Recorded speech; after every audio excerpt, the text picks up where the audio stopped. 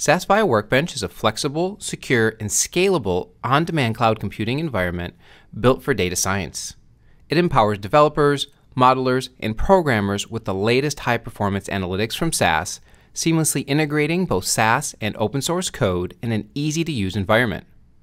After logging into SAS Viya Workbench, you'll begin here on the home page. The left navigation bar enables you to access your available workbenches, storage options, and activity log. I'll return to the home page.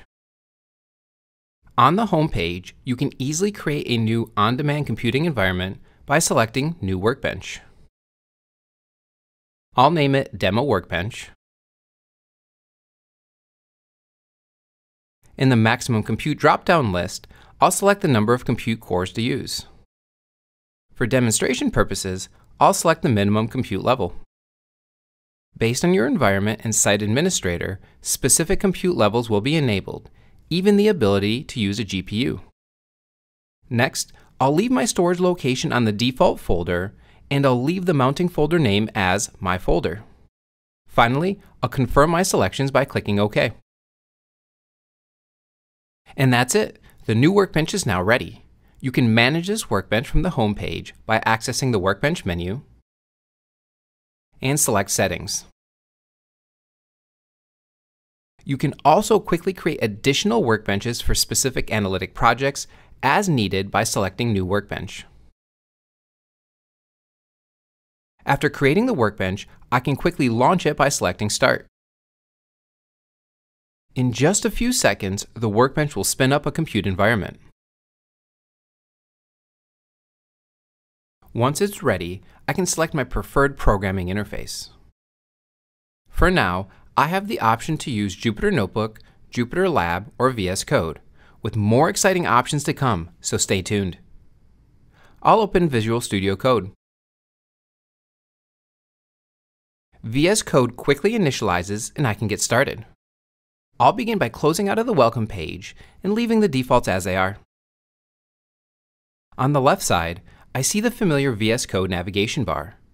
In the Explorer section, I can locate my storage under the name My Folder, where I already have some files and folders available. For SAS programmers, Workbench will have the SAS9 code you are familiar with, as well as new high-performance SAS Viya analytics optimized for cloud parallelization for use in either SAS or Python. However, let's just get started by executing some simple SAS code. One way to create a SAS program is by selecting the Menu button File, and New Text File. Then select a language and search for SAS. You can also create a SAS file by selecting the New File icon in the Explorer and name the file with a .SAS extension. Once your file is created, you can easily start coding in SAS. I'll use a simple contents, print, freq, and means procedure to quickly explore the cars table from the SAS help library. Again, using all traditional SAS code. To run the code, you can select the familiar Running Man icon at the top right, or press F3. The code will execute in the cloud environment and return the results. The results window will open in a new tab. Here, we can quickly scroll through and see the output. From the table metadata, to a preview of the table, to the frequency analysis and plots, to the descriptive statistics. On the bottom, we can see the SAS log. Everything ran successfully. I'll close the results. If you want to view your available SAS libraries in VS Code, select the SAS extension icon on the navigation bar. Here, we see familiar libraries like Maps, SAS Help, SAS User, and Work. I'll expand the SAS Help library. Then select the CARS table. A preview of the table opens in VS Code, enabling you to view your data. I'll close the preview. You can also upload files to the cloud environment. I'll go back to the Explorer and create a new folder. I'll name it Demo. Then I'll right click on the folder and select Upload. This will let me upload a local file to the cloud environment. I'll upload a simple SAS table.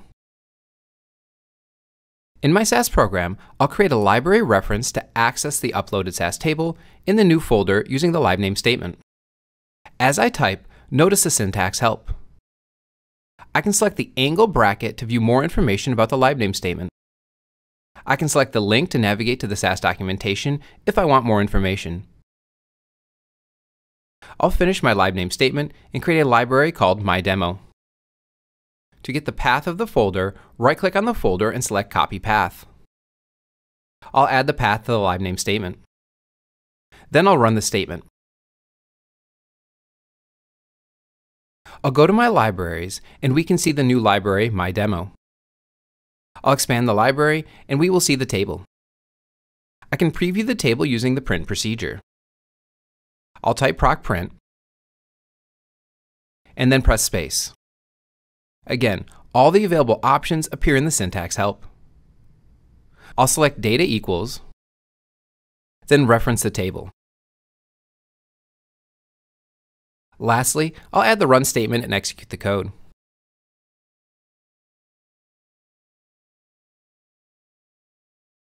The print procedure shows the results.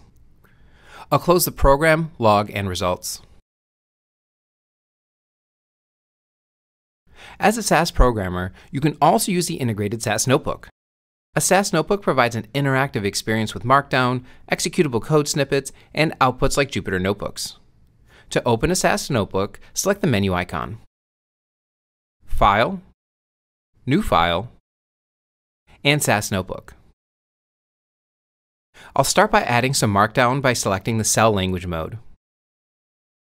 I can select SAS, SQL, or Markdown, the Python code cell is currently not available in a SAS notebook, but you can execute Python in a workbench through Jupyter or VS Code, as we'll see later. I'll select Markdown and add some text. The hashtag creates a heading named Demo SAS Notebook. The text below will add the simple description, this is my first SAS notebook. To execute a cell in a notebook, press Shift and Enter. The Markdown code appears as text as expected. I can also execute SAS code in the notebook. I'll use some of the same code from earlier. I'll change the cell from Markdown to SAS. Then I'll add the contents and print procedures and press Shift and Enter to execute the cell. Notice that the results were returned in the output cell within the SAS notebook. In a SAS notebook, you can also use an SQL code cell. I'll change it from SAS to SQL. The SQL code cell will execute the SAS SQL procedure. For example, I'll get the mean MSRP by car make.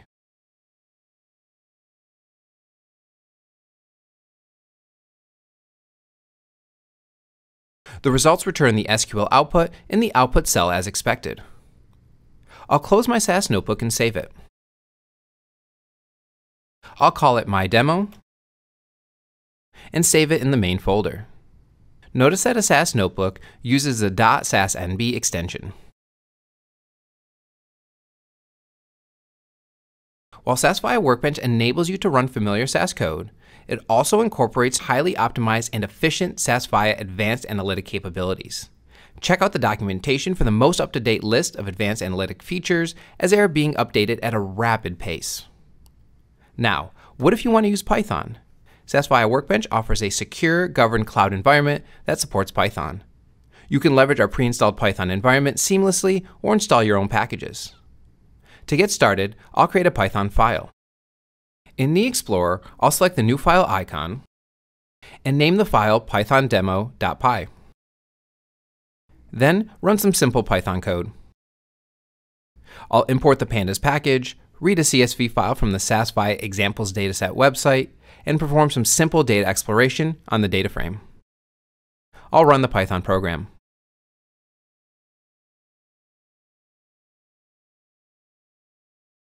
The results display some information about the cars.csv file, like the data types, a preview of the data frame, and some descriptive statistics. I'll close my Python program in terminal. Lastly, I'll open a Jupyter Notebook. I'll select the menu, File, New File, and Jupyter Notebook. Again, I can simply program using Python in a familiar environment. In the first cell, I'll import pandas and read the same cars.csv file to create a data frame and then run the describe method. I'll press Shift and Enter to execute the cell. Then I'll select my Python environment,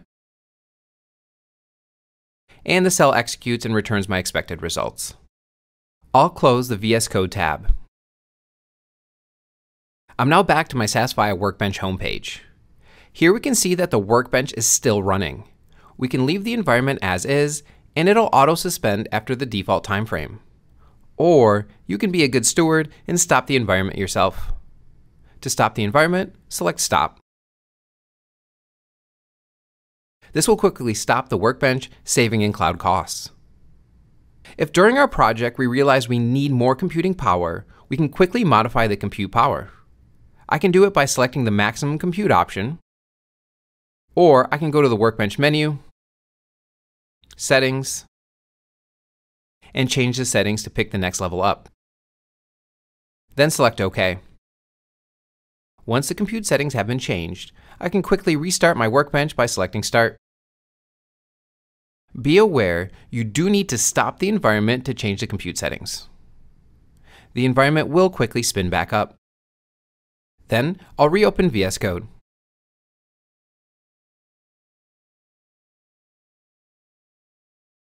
Notice that we are back where we left off with our Jupyter Notebook.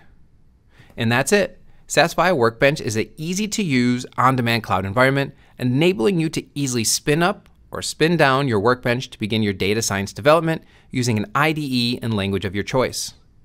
Check out the documentation for new features and high performance, efficient, optimized SAS Viya analytics for both Python and SAS, as there is a lot more to come.